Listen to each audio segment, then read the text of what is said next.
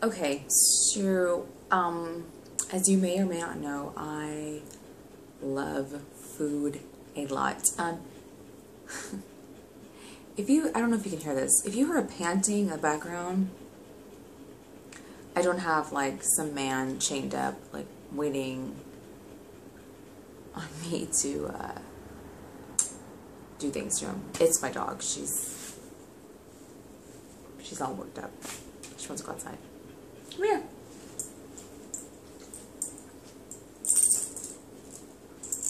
Yeah, she's she's. We're about to go for a walk. Even, yeah, that's why she's got this. She's got this because she likes to fucking uh, bark at other dogs because she thinks that they are threatening. Okay, go back over there.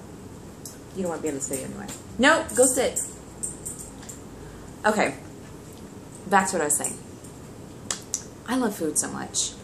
Um, the thing is, sometimes I, like it as I have mentioned in previous videos, I am not like the best at being a grown-up and I don't always go grocery shopping when I should. Um, and when I do go grocery shopping, I don't get like a full, um, full supply of groceries. So for breakfast this morning, because I was running late and hit the snooze 17,000 times, um, I didn't have breakfast food. So what I did was I took with me to work some Uncle Ben's teriyaki chicken rice and I ate it in my cubicle for breakfast. You know what? I don't know who decided that you need to have cereal, fucking uh, toast and bacon and eggs and cereal for breakfast, but that's bullshit. I will eat fucking toast and scrambled eggs and cereal whenever the fuck I feel like it, okay? You don't fucking tell me what to do. If I want to eat fried rice made via the microwave for breakfast, I will have rice. If I want to have a peanut butter and jelly sandwich, if I want to have three peanut butter and jelly sandwiches for lunch, I will, and I did.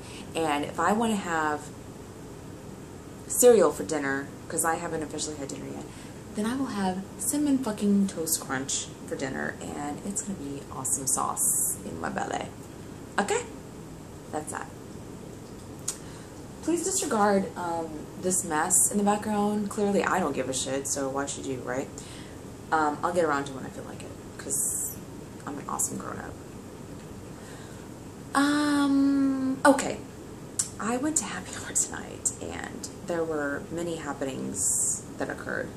First of all, the first bar that I went to, we sat next to, we sat in behind a window that looks out onto the street. And there was a man that walked by, shirtless, in, I guess, like basketball shorts. So he walks by the window, and I'm like, what the fuck? Shirtless. It's like 6.30, 7 o'clock at night. And then he comes back around, he comes back the other way a little bit later. And at this point, his basketball shorts are slouching off to where they're just below his cheeks and his underwear showing. And I'm thinking, this dude's definitely going to be arrested later on tonight. So anyway, we walk to the next bar, and sure enough, I see this squad car. Lights are on. I'm like, it's the guy. It's got to be the guy. I'm sure they're talking to him. Absolutely. Walk a little bit further. Me, me, me, me. There he is, talking to the cops. So we kind of walked by because I wanted to know what was going on, but I couldn't hear anything. So I don't know what happened there, but um, I think he may have been drunk and or under the influence of some sort of mm, substance that may or may not have been prescribed to him or that a street pharmacist may have prescribed to him, right? Um, and then we were at the next bar and we were on the patio and a mariachi band came by and started doing their thing. That was cool. And then the night was over and I decided I didn't want to leave through the door. So instead of walking through the restaurant to get to the front door or even leaving through the door that was out of the patio that I was just climb over a bunch, a bunch, what, a bunch of grapes, I decided I would climb over a bench. Wait, I didn't climb over a bench. Well, I kind of did.